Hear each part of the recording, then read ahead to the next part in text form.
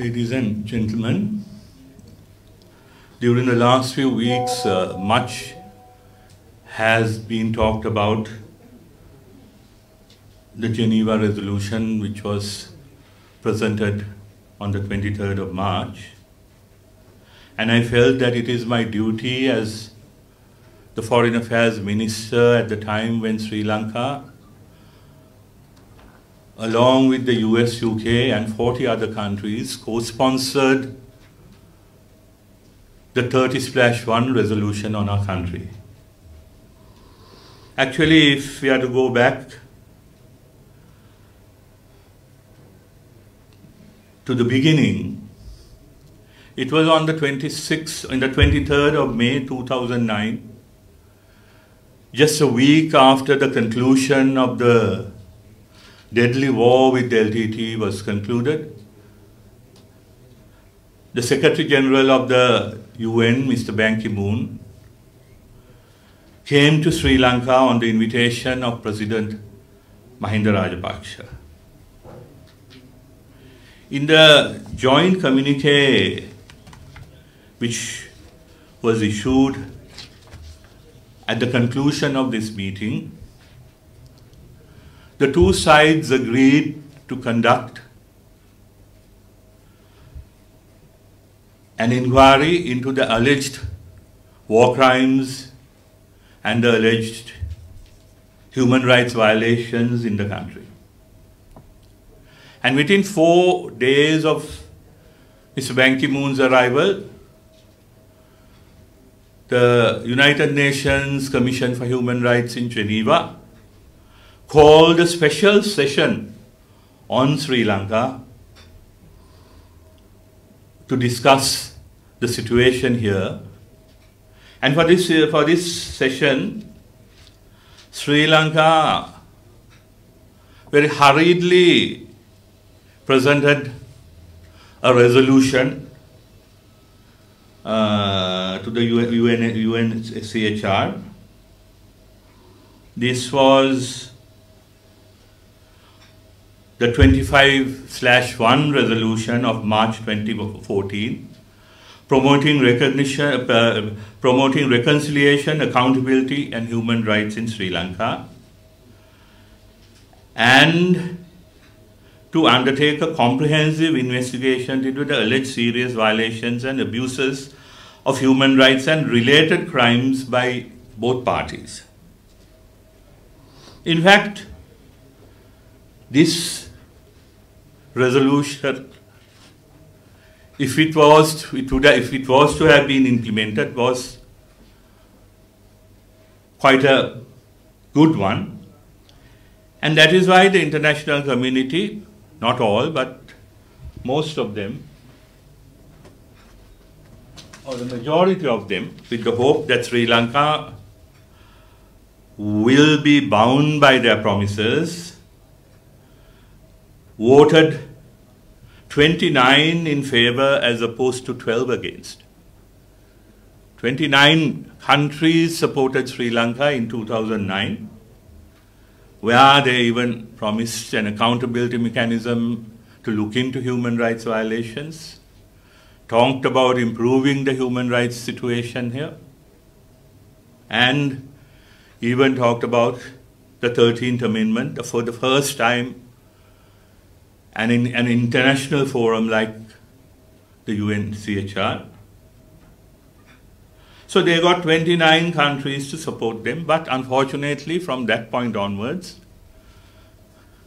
like all other promises of the Rajapaksha era, they didn't bother to implement many of them.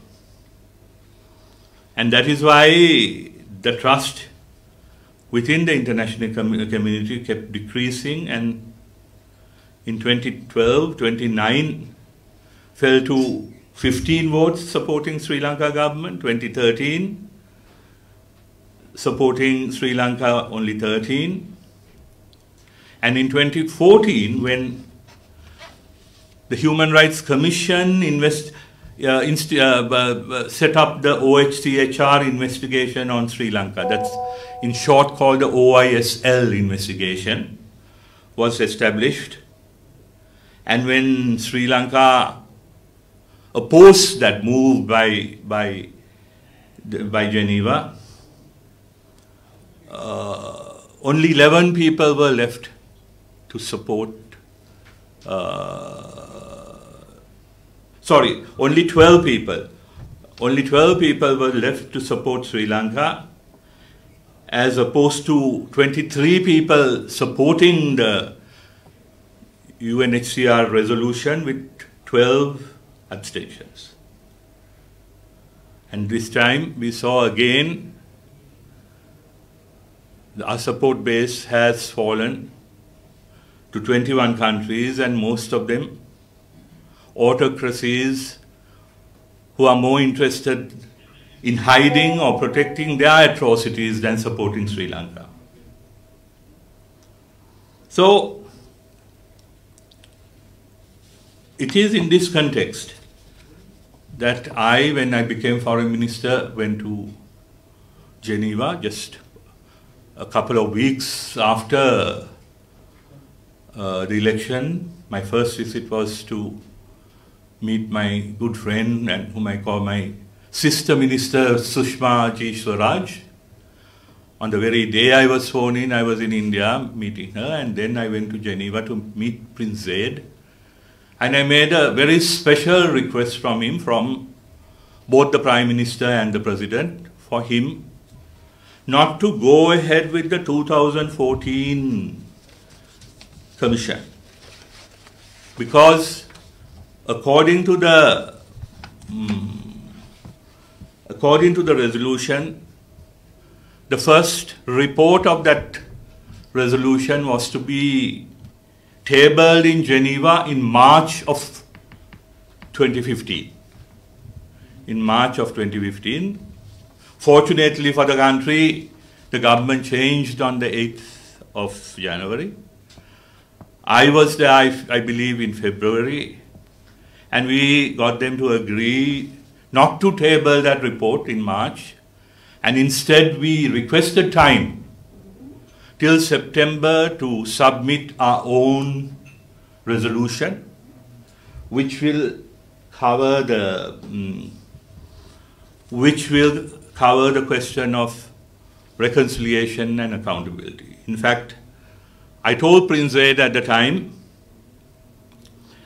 and quoted from our manifesto uh, of the election, the presidential election, item 93, Sri Lanka, since Sri Lanka is not a signatory to the Rome Statute regarding international jurisdiction with regard to war crimes, ensuring justice with regard to such matters will be the business of a national independent judicial mechanism. So we said, give us a little more time until September, we will present our resolution for a national independent judicial mechanism and the Prime Minister along with a group of top level experts drafted this uh, resolution. And then we invited the United States ambassador and then the United, uh, United Kingdom ambassador also to co-sponsor this resolution. This whole idea that Sri Lanka sponsored a foreign resolution is an utter misleading lie. We managed to get the powerful countries to back us, and each and every word in that resolution was uh, was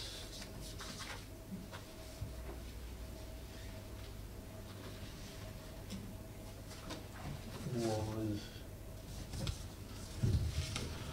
was approved by President Sirisena for example, I just, I don't want to take too much time, maybe you can translate it from my Sinhala speech. Uh, this is, this is President Sirisena's speech from the 4th of February 2016. I'm quoting, I clearly state that we are facing these resolutions in order to protect the pride and dignity of our country, our people and our security forces, and also to make our tri forces to be internationally renowned armed forces.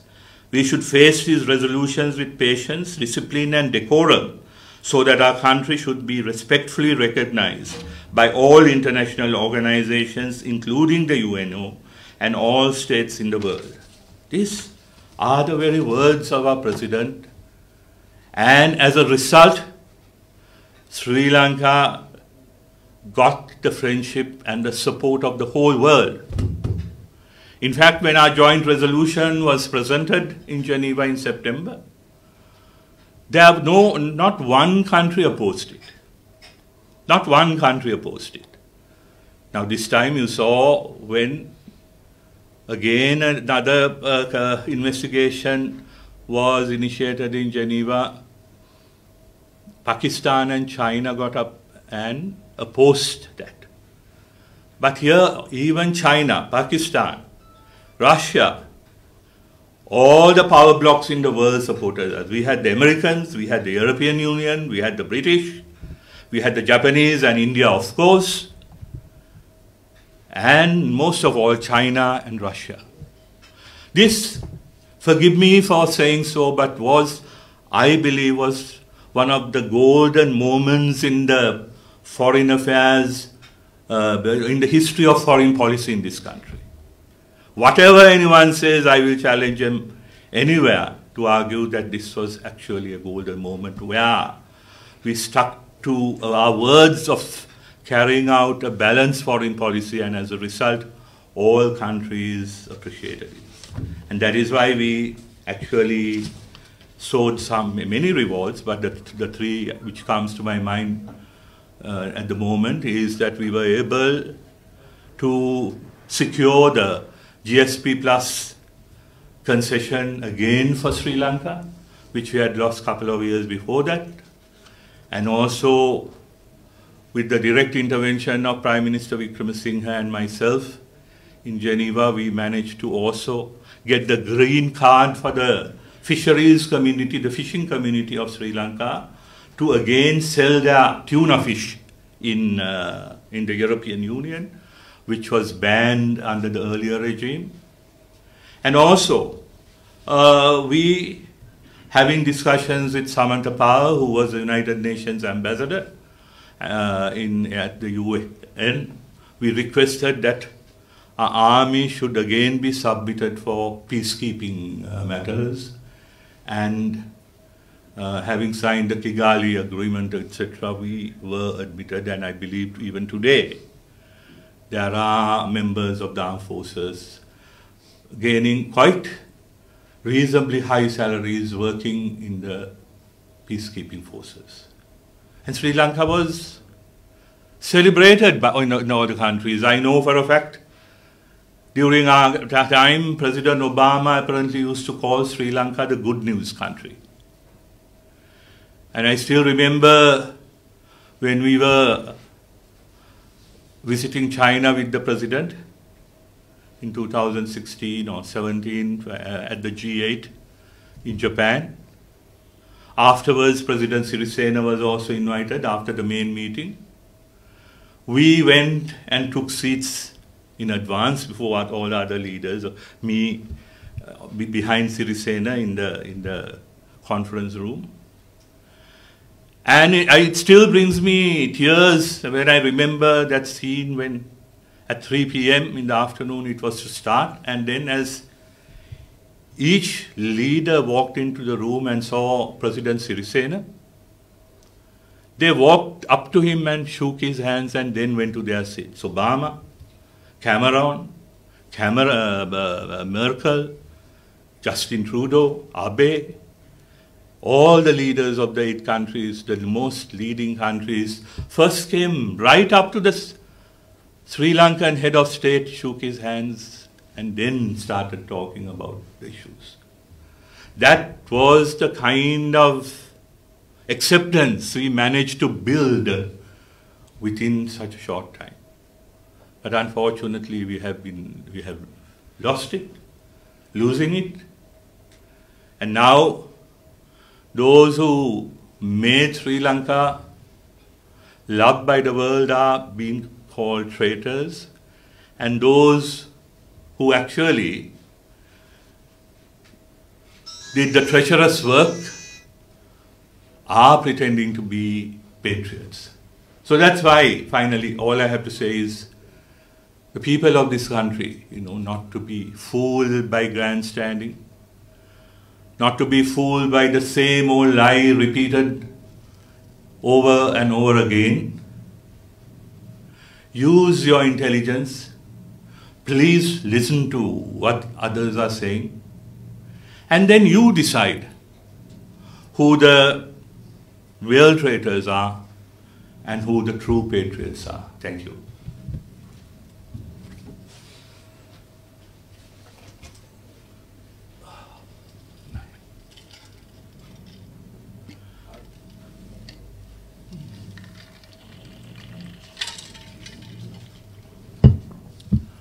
ප්‍රශ්න ඔන්න.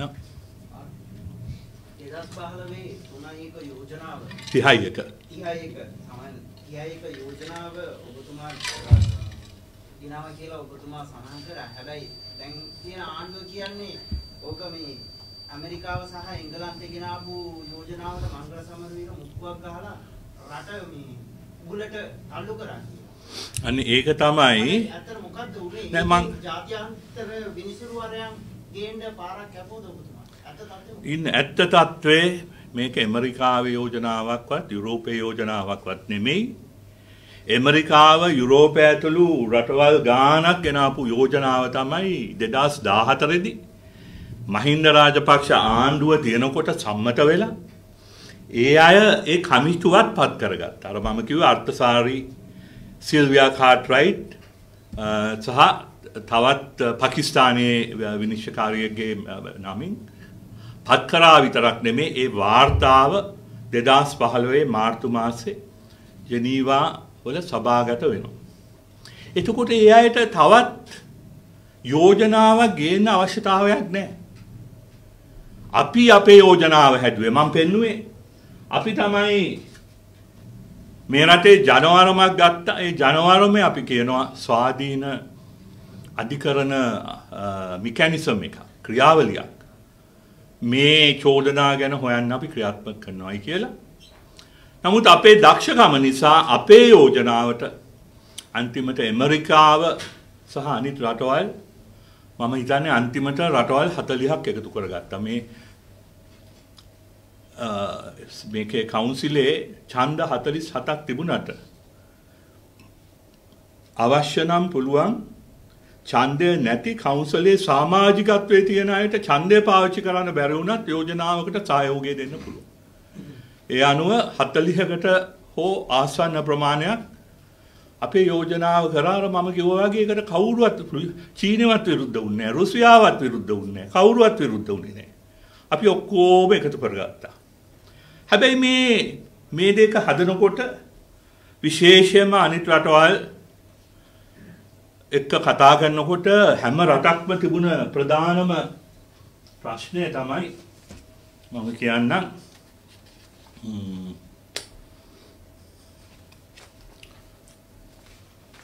ලොකු ප්‍රශ්නයක් තිබුණා අපේ අධිකරණය අනිත් ඔක්කොම හරි. අපි අපේ යෝජනාව හැම දෙයක්ම බොහොම හොඳින් තිබුණා. අපේ අධිකරණය රාජපක්ෂ සමයේ විශේෂයෙන්ම දෙදස් දහයින් පස්සේ ඉතාමත්ම ස්වාධීනත්වය නැති අධිකරණයක් හැටියටයි මුළු ලෝකෙම් බැලුවේ. අපි ඇවිල්ලත් අවුරුද්දයි. අවුරුද්දක් නෑ මාස ගානයි. මෙන්න මෙහෙමයි මෙන්න මේකත් මම මේ කියවන්නේ පෙබරවාරි දෙදස් දස් දාස්සේ පෙබරවාරි නමය මේ කොළඹදී UNHCHR එකේ ප්‍රධානය ලංකාවටාව සේඩ් කුමාරය දාසේදී ඇවිල්ලා මට මට මතකනෑ කොහෙද කියලා මේ වගේම ඔබතුමන්ල හම්බුණා ප්‍රෙස් ප්‍රෙස් කොන්ෆරන්සේ බොහොම විවෘතු මහිතන පෑකටත් වඩා ගියා මට මතකයි. පෑකටත් වඩා ගියා. ඕන තරම් ප්‍රශ්න ඇහුවා. මේ ප්‍රශ්න අහපුවාවේවත් මගේ ළඟ තියෙනවා මේකේ මේකේ ඒ ස්ටේට්මන්ට් එකේ මේ බලන්න මෙන්න මේ මතය තිබුණේ මං කියවන්නම් ඔයාලට Sri Lanka has many excellent judges, lawyers and law enforcement officials. but over the years the system they depended on and which depends on them became highly politicized, unbalanced, unreliable, and the country's history over the past few decades is littered with judicial failure. Virtually all Sri Lankans recognize this, and this Prime Minister commented on it at great length and with admirable candor during a 27 January debate in Parliament. හිටපු ආගමැතිතුමා පවා මේක අපි කතා මේක අපි ඇත්තනේ. මේ අපි මේ මේක සම්පූර්ණ ඇත්ත සුද්ධ කියන්න ඕනේ අපි දන්නවා. අපේ අධිකරණයට මොකක්ද උනේ කියලා මම මේක මේ ආණ්ඩුවට විතරක් නෙමෙයි. මම නම් හිතන්නේ අධිකරණය බලපෑම් වෙන්න පටන් ගත්තේ 1970 ඉඳලා. ඒක අපි අපි කියමු. නමුත් එතන දැන් ඉතා භයානක තත්වයකට ඇවිල්ලා. Virtually every week provides a new story of a failed investigation, a mob storming a courtroom, or another example of a crime going unpunished. Sexual violence and harassment against women and girls in particularly poorly handled by the relevant state institutions, especially when the alleged perpetrators are members of the military or security forces and as a re result remains too widespread.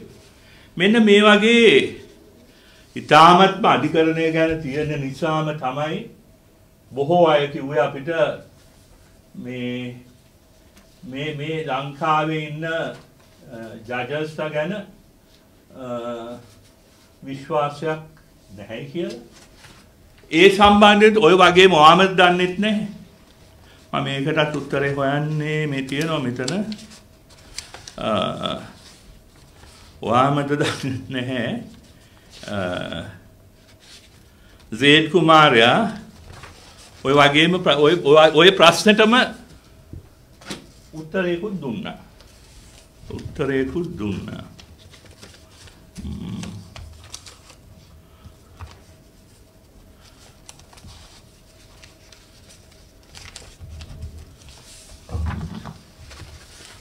විනාඩියක් ඉන්න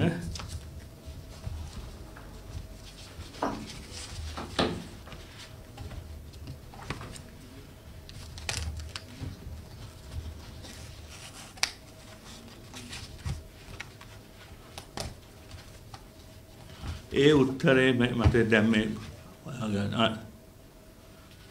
ආ. මේ තියෙනවා. හරි. ඒත් මම මේ කතා කරන ප්‍රෙස් කොන්ෆරන්ස් එකේදීමයි.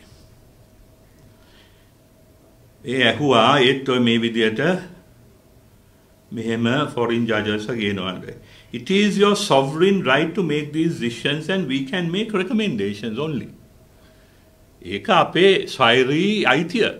ඒ තීන්දුව ගන්න එක. අපිට පුළුවන් recommendations කරන්න. But it is, however, in the end, the recommendations are rather whatever you do will do for a naught if the victims themselves do not feel that justice has been done. ඒකත් ඇත්ත. හැබැයි මොනවා කරත් හරි දේ නොකරොත් අර victims හිතනවා නම් මේක බොරුවක් කියලා එහෙනම් ඒ කරපු එකේ වාසියක් එන්නේ නැහැ කාටවත්. රටට එන්නේ නැහැ කාටවත් එන්නේ නැහැ. So the final, so in the final analysis, it is not whether the UN says this is good or this is not good. අන්තිමට UN එක මේක හොඳයිද මේක නරකයිද කියනවට වඩා මේ හරි දේ කරන එකයි. මේට විසඳුමක් සොයන දේ කරන එක තමයි ඕගොල්ලන්ගේ පැත්තෙන් තියෙන යුතුයකම it is whether the affected communities on all sides. All those who have suffered loss suffered losing their parents their children their siblings it is only they who can ultimately make these determinations and say the government has done enough to respect us.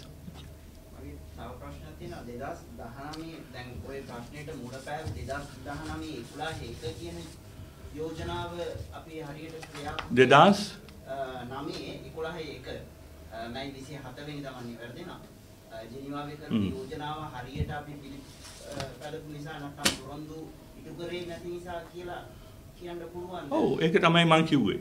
අනිත් එක ඇයි ඒ ඒ ගැන කතා වෙන්නේ නැත්තේ මං දන්නේ ඒක ඉතින් දැන් දැන්වත් කතා වෙන්නේ ඔන්න මේක තමයි ඇත්ත කතාව උනේ ඒක 2009 යෝජනාව අනුව ක්‍රියාත්මක වුණා නම් මම නම් හිතනවා මේක මේ කියන තරම් දුර දිය යන්නේ නැහැ කියලා හරි මගේ අන්තිම ප්‍රශ්නේ දැන් 2021 දැන් යෝජනාවක් ගෙනත් තියෙනවා ඔය 2021 යෝජනාව ඉදිරියට අපිට කොහොමද බලපාන්නේ ඕකේ ප්‍රතිඵල අපිට විඳින්න වෙන්නේ කොයි කාලෙද?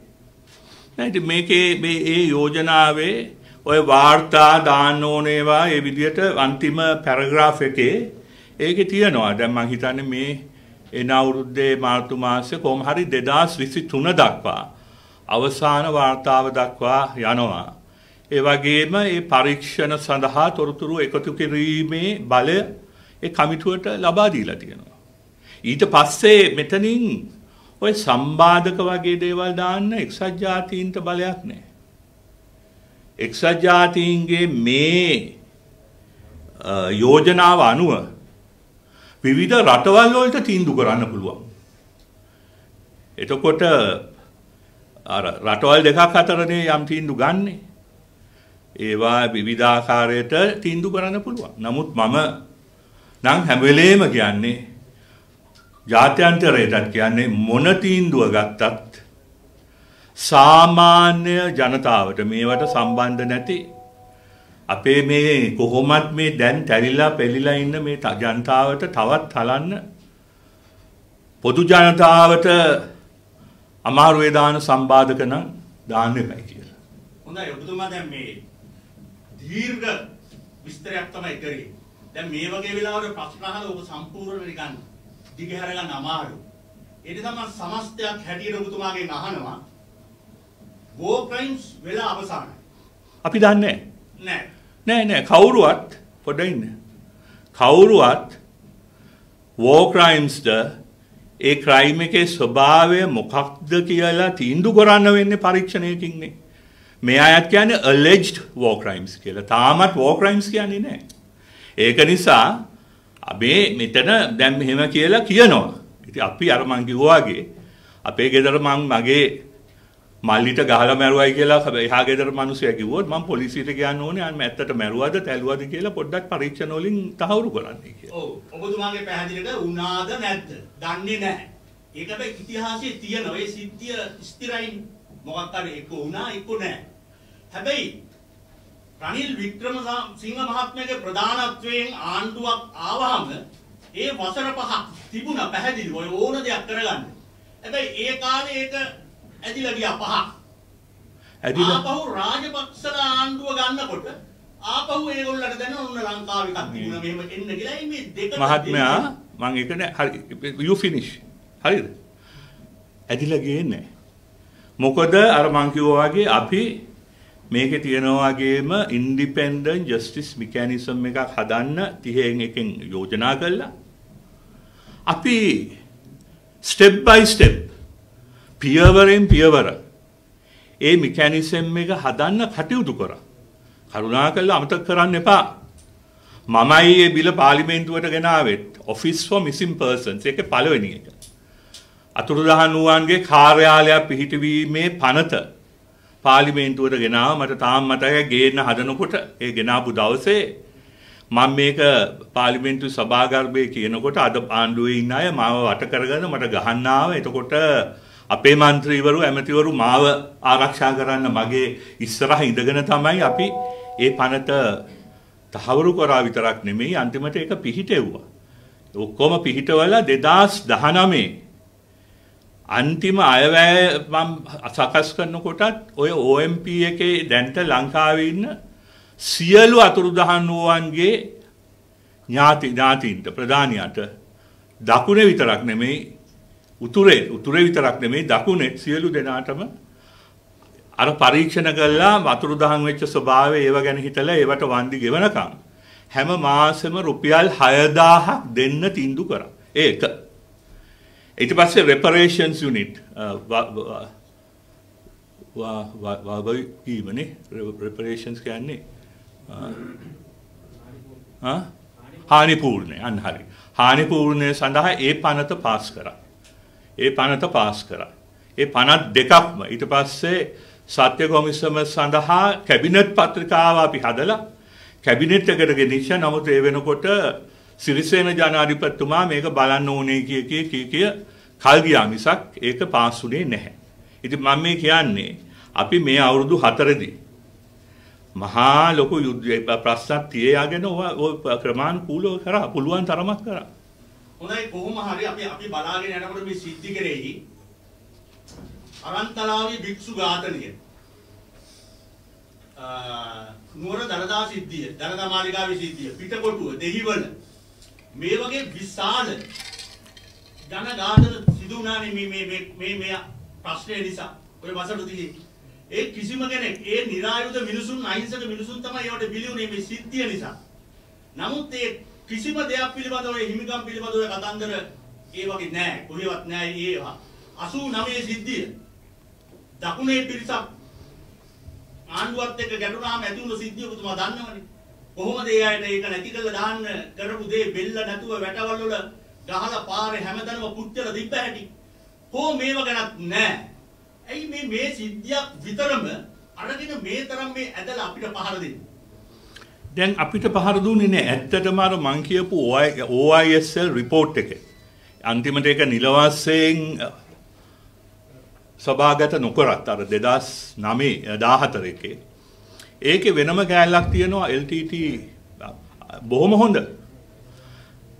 2014 කරපු එක. එක එක ප්‍රශ්නයක් තියෙනවා LTT ප්‍රධාන ඝාතකයන්. සියල්ලම වගේ අද ජීවිතුන් අතරේ නැහැ. දෙවනි එක තමයි මේ වාර්තාවේ පවා කියන ප්‍රධානම දෙන්නෙක්. ප්‍රධානම දෙන්නෙක් අද මේ රජයේ ඉහළ තනතුරු දරන අය. ඉතින් ඔය වගේ ප්‍රශ්න තියෙන්න පුළුවන් ඇත්ත. මේක අනිත් එක reconciliation and කොලොම්බියා වගේ රටවල් වල අවුරුදු 10ක් 15ක් යන දේවල්. නමුත් අපි අවුරුදු 4න් මහා අභියෝග ඉදිරියේ යම් දේවල් කරන්න බැලුවා. නමුත් ඒ බලපු නිසා තමයි අපි ද්‍රෝහීන් කියලා ලේබල් ගැහුවේ. හැබැයි දැන්වත් කවුද ද්‍රෝහීන් කියන එක ජනතාව තීන්දුව කරන්න ඕනේ. ඔබතුමාගෙන් අවසාන වශයෙන් මේ ප්‍රශ්නේ අහන්නේ. දැන් ඔබතුමා පිළිගන්නවද වසර 30ක් මේ වගේ විශාල ඝාතන අපරාධ අපේ ජාතීන් සියලුම ජාතීන් අතර වෙලා මේක ඉවරුණාට පස්සේ 2009 අපිට ලොකු සහනයක් නේ. පවුලේ අය තාත්තා වෙනම අම්මා වෙනම බස්වල ගියේ. දරු බහුල රැකගන්න කියලා. ඒ වගේ අපරාධකෙන් බේරුණ අපි ඔය යුද්ධයේ ඔය අවසාන ප්‍රතිඵලය නිසා තමයි අපි ඒක හිත සැහැල්ලු කරගන්නේ. ඔබතුමාලට හිතුනේ නැද්ද මේ ඈත්තේ ඔය තරම් සුවදත්ති තිබුණේ කියලා මේ පිළිබඳව සාධාරණව බලලා මේ ප්‍රශ්නය විසඳන්න උදව් කරන්න අපේ රටට කියලා. මේ මේ උදව් කරන්න තමයි මේ අපි මේ උදව් කිරීමට තමයි මේ අපි ඒ තියෙන 2014 තිබුණ ජාත්‍යන්තර පරීක්ෂණය අපේ අතට ගත්තා එකක්. අනිත් එක 2009 ඒ යුද්ධ වෙලාවේ මන් තරම් සන්තෝෂ වෙන්නේ නැති ඇති මොකද මමත් හිටියේ මම පෙන්නුවේ අපි හැංගි හැංගි ඡන්දේ දාන්නත් උනේ. ඇත්ත වශයෙන්ම LTT සංවිධානය පරාජය වෙච්ච එක ගැන නෙමෙයි මෙතන ප්‍රශ්නේ. ඒ වෙලාවෙත් මම කිව්වා මගේ කතා බලන්න මෙතෙන්දි හරි දැන් ඒක ඉවරයි. අර කිව්ව විදිහට ඉතාමත්ම භයානක ත්‍රස්වාදයක් අර මේ රටේ තිබුණා කෝච්චි පිපුරුවා සෙන්ට්‍රල් හැබැයි ඒ පැත්තෙත් දෙමළ ජනතාවටත් ඒ වගේම ප්‍රශ්න තිබුණා. දෙමළ ජනතාවටත් ඇත්තටම පොඩි සහනයක් ලැබුණා. මොකද නැත්තම් ඒගොල්ලන්ගේ ළමයි බලහත්කාරයෙන් ඇදගෙන යනවා යුද්ධෙට. මේ වගේ බ්‍රිටැනින් තන බෝම්බ වැටෙනවා. ඒ ඒ ඒ සියල්ල එක්ක මේ ආණ්ඩුවට තිබුණේ ඒකත් එක්ක මේ සිංහල බහුතරවාදී මානසිකත්වයක් හදාගන්න හදන්නේ නැතුව මමයි රජා කියලා මහවංශයේ සීන් එකක් එක් කරගන්නේ නැතුව ඒ වෙලාවේ දැන් හරි මේක වුණා. දැන් සිංහල දෙමළ මුස්ලිම් ජනතාව හැටියට අපි ඔක්කොම එකතු වෙලා රට හදමුයි කියලා කියන්න පටන් ගත්තා. මම හිතන්නේ ඊට වඩා ලොකු වෙනසක් තිබුණා ඇත්ත වශයෙන්ම ඒ වෙනස කරන්න පුළුවනුත් පුළුවන් හයියත් ඒ වෙලාවේ තිබුණේ මහින්ද රාජපක්ෂට. හැබැයි මොකද්ද හේතුවකට පොඩ්ඩක් මහරජ සීන් එක ඔලුවට ගියා. මේ පොඩ්ඩක් ඉන්න තව ඉන්නවද? තව එහෙම නැත්තම් අතන කොනේ දෙන්නෙක් විතරයි. yeah, sorry.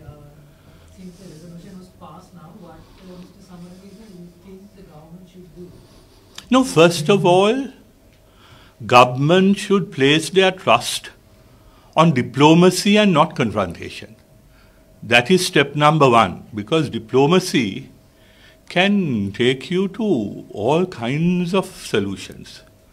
But if from the start, if you are going to accuse those who criticize you as your enemies, Sri Lanka is not going to go anywhere because Sri Lanka voluntarily over the years have become a signatory to all the human rights, uh, the, the various resolutions passed in the UN and other places since 1948, since it was first established. So now we can't be acting like North Korea or Venezuela or uh, Eritrea. Sri Lanka is a country which has always dealt with the world in equal terms. The world loves us, as I told you, you know, even in those four years. Because once we started dealing with them, they were willing to go out of the way to help us. In fact, even at this moment, when Sri Lanka's economy is in the doldrums and maybe hurling towards the abyss, I think our foreign relations are more important than ever. හරිනේ මගේ දැන් කකුල් දෙක රිදෙනවා වගේ. නෑ චුට්ටක් ඔයා කතා අහනකම්. ඔව්. දැන් ඔබතුමා මේ විශේෂයෙන් මම එළියට ගිහිල්ලා අහන්නේ වෙනත් ප්‍රශ්න දෙකක් තියෙනවා. වෙන ඒවා එපා. බා පොඩි පොඩි අනේ පොඩි බො. නෑ මේ වෙලාවේ. රටේ ලොකු ප්‍රශ්නයක් නෑ මෙතන. තියෙන්නේ මම රටේ ප්‍රශ්න නෙමෙයි මම දැන් මේ පොඩ්ඩක් සයිඩ් එකේනේ. රටේ ප්‍රශ්න නෙමෙයි අර මගේ නම කියවුන නිසා කිව්වේ. නෑ ඔබ එතන හිටියා. ඒ තැන ඔබතුමා ගිහිල්ලා හිටියා. ඒකයි මම අහන්නේ. එක තැනක්. මේ. වෙලාවේ පාරිසරික ලොකු විනාශයක් කරනවා කියලා අපේ මාධ්‍ය ජාලාවල විශාල වශයෙන් මේ ප්‍රශ්නේ අරගෙන විශාල කතිකාවක් වෙනවනේ දැන්. දැන් ඊට පස්සේ අපි දැක්ක පහුගිය දවස්වල නෙළුම් පොකුණ අභියස එතන තියෙන විහාරමාදී පාක්කේ කොටසේ ලොකු තිරයක් ගහලා ඒ පිළිබඳ ප්‍රශ්නයක් ඇති වුණා. එතන හිටියේ බොහොම යෞවන තරුණ තරුණියන් එතන හිටියේ. පස්සේ බලනකොට ඔබතුමත් ඇවිල්ලා මෙන්න මෙතන ඉන්න බවට මේ රවුම් කරලා ඡායාරූපයක් දාලා තියෙනවා මේ සමාජ මාධ්‍ය ජාලාවල. එතෙන්දී ඔබට දාන චෝදනාව තමයි ඔබ මේ වෙලාවේ තරුණ පිරිස් එකතු කරගෙන ඔබතුමා හැංගිලා ඉඳගෙන ආණ්ඩුවට චෝදනා කරන්න කෘතීම ලෙස විවිධ දේවල් ඇති කරනවා කියන. මේක ඇත්තක් තියෙනවා. මං කොහේ ගියත් ඒක වැරදි. නමුත් ඔබතුමා දන්නවනේ ඒ කාලේ ඔබතුමා එනවා අපේ බජට් ස්පීච් වලට ඉස්සෙල්ලා තියෙන ප්‍රෙස් කොන්ෆරන්ස් වලට පිටිපස්ස අපස්සේ තියෙන ඒවට ඇත්තටම පරිසරය කියන දේ. මේ බ්ලූ ග්‍රීන් ඉකොනොමි කියන කන්සෙප්ට් එක ප්‍රථම වතාවට අයවැය කතාවකට ඇතුළත් කරේ මම 2018 දී. ඇත්ත වශයෙන්ම ඒ නමත් ඒ බයවැය කතාවේ නමත් ඒ කාලේ බ්ලූ ග්‍රීන් ඉකොනොමි කියලා. විශේෂයෙන්ම අ, රටක් පරිසරයත් රැකගනිමින් දියුණු කරන්නට පුළුවන් කියන එකයි මගේ බ- ඒ අයවැය යෝජනාවලින් එදා පෙන්වන්න පටන් ගත්තේ. අපේ සිංහරාජය විතරක් නෙමෙයි අනිත් කැලෑ ආරක්ෂා කරමින් රැකගන්න පුළුවන් කියන එක අපි යෝජනා කරා. ඒ වගේම අපි මේ දැන් ඊයේ පෙරේද මම දැක්ක එක එක්කෙනා හදනවා ඒකේ තියෙන සමහර අදහස් හොඳයි. හැම ගමකම පරිසරය රකින්න තරුණ පිරිසක් හදන්න ඕනේ කියලා යෝජනා කරේ මගේ අයවැයෙන් ඒකට සල්ලිත් වෙන් කරා. ඒකට සල්ලිත් වෙන් කරා. අපි කිව්වේ එක්ක සෙන්සුරාදා ඉරිද දවස්වල බ- බ- බීච් එක සුද්ධ කරන එක එහෙම නැත්නම් තමන්ගේ ගමේ තියෙන පොළ සුද්ධ කරන එක එහෙම නැත්නම් ඒ පැත්තේ ගස් හිටවන එක ඒවට ප්‍රාදේශීය ලේකම්ගේ තුමාගේ ප්‍රධානත්වයෙන් අ, අපි කමිටු පත් කරන්න යෝජනාවක් ගෙනාවා. අනිත් පැත්තෙන් මහ පරිමාණයේ සංවර්ධනයත් ඇත්තටම කරන්න පුළුවන් අය මේ- මේ තියෙන පරිසරය ආරක්ෂා කරගන්න. අපි අනිත් එක එතෙන්දි මම 2017 18 බජට් එකේදී අපි යෝජනා කරා ලංකාව සියලු වාහන ෆුලි ඉලෙක්ට්‍රික් වෙන්න ඕනේ කියලා 2035 වෙනකොට. අපි පොඩ්ඩ පොඩ්ඩ හැබැයි ඊට පස්සේ ඉතින් මේ කුමන්ත්‍රණ තිබුණා බ- තිබුණා එක එක ප්‍රශ්න තිබුණා. අපි ඕවා ඕවා පොඩි පොඩි සාකච්ඡා කර කර හිටියේ මොකද කොහොමද ඒවා charge කරන තැන් charging තැන් ලංකාව පුරාම දාන්නේ කොහෙද කියලා. ඉතින් ඇත්තෙන්ම පරිසරය කියන්නේ මම හැමදාම ආදරය කරපු දෙයක්. ඒ විශේෂයෙන්ම මම බෞද්ධෙක්. සැබෑ මම සැබෑ බෞද්ධෙක්. ඔය වොයිස් කට් සාදු බෞද්ධයෝ නෙමෙයි. මේ මොකද බෞද්ධයෙක් කියන්නේ මොකද්ද? අපි සියලු ජීවිතවලට ආදරය කරන්න ඕනේ.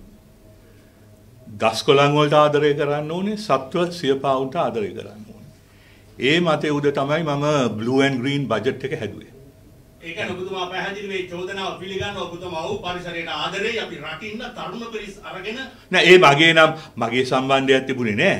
හැබැයි මමත් ওই වගේ තිබ්බොත් ඒ වගේ ඒවා තිබ්බොත් මම යනවා බලන්න. ඔව්, ඒක මගේ දක්ෂිණ ශ්‍රී ලංකාවේ ප්‍රතාපවත් චරිතයක් මහා නාම සමරවීරයා දැන් මේ ඔක්කොම හිතයි මං වාව සෙට් කරයි කියලා. නෑ එතන ඉඳලා විශාල කාර පරාසයක අත්දැකීම් සහිත ඔබතුමා දමල ගහන ඔහෙට මේ ඔබතුමාගේ දේශපාලන සටකපට කන් ඔක්කොම දන්නවනේ එහෙට මෙහෙට ගහන විදිය. දැන් මට දැනෙනවා මෙහෙම දෙයක් නිකන් මේ මේ ඉරියව් වලින් ඔබතුමාගේ අලුත් එහෙම. මොකද්ද?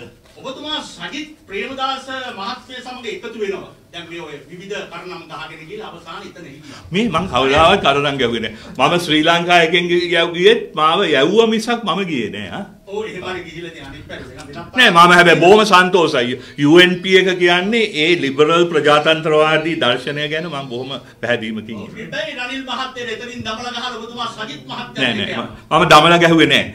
ඇත්තව දමලා ගැහුවේ නෑ. හරි කියන්න. කියන්න. දැන් ඔබතුමා සජිත් මහත්තයාට අර වම් පාදයෙන් ගහලා චම්පික රණවක මහත්තයාට දකුණු පාදයෙන් ප්‍රහාරයක් එල්ල කළා අපේ චන්ද්‍රිකා මැතිනිය සමග එකතු වෙලා අලුත්ම ගමනක් යන්නට ඔබතුමා නිකන් සැරසෙනවා වගේ මට පේනවා. එහෙම නෙමෙයි මේ වෙන්නේ යන්නේ දැන් වෙන වෙනම ගිහිල්ලා. මම ජීවිතේට කාටවත් පයින් ගහලා නෑ. ගහන්න යන්නේ. නෑ ගහන්නේ නෑ. ඇත්තමයි ජීවි ඉස්කෝලේදවත් කාටවත් පයින් ගහලා නෑ. ඒක මම අර උපමාවක් විදිහට ගත්ත ඔබතුමාගේ ගහන ගැහිල්ලෙන් ගහන. ඔබතුමා යනව නේද? ඇත්තටම යන්න හදන්නේ. කොහෙද? දැන්. දැන් කන්දිල්ලුවෙත් තමයි පහුගියේ. ඒක චන්ද්‍රිකා මැතින සමග එකතු වෙලා චාන්ද්‍රිකා මැතිනිය කියන්නේ මම මගේ හොඳම යාළුවෙක් මම ඉතා ගරු කරන අ, දේශපාලඥයෙක්. එච්චරයි. ඉතින් එකතු වෙලා ළඟදී මේ මේ අපරාධ වලට එකතු වෙන්න බෑපා. රාදවලට ජනතාව එකතු වෙන්න ඕනේ. ඉතින් ඔබතුමාලා ඇවිල්ලා කියනවා නේද අපි ඉන්නවා කියලා. එනවද? නෑ. ඉන්න? Thank you. Which song is it? Alu not. you. not. So after after Sorry, you wanted to ask something, no? yeah, but no, no. I think we. Thank you. How?